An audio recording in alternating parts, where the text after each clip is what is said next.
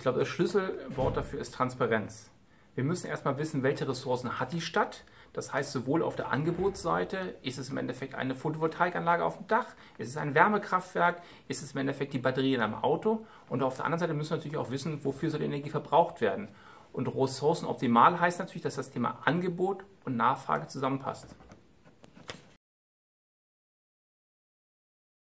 Ich glaube, wir reden ganz, ganz viel vom Internet der Dinge oder vom Big Data. Und ich glaube, wenn es um das Thema Transparenz geht, ist das Wichtigste, wir brauchen eine offene Plattform, wo die Daten reingestellt werden. Und ich kann es mir sagen, ich habe alle meine Unternehmensdaten in ein Open Data Portal gestellt. Wir haben dieses Open Data Portal mit der Stadt abgeglichen. Das heißt, wir tauschen uns jetzt gegenseitig die Daten aus.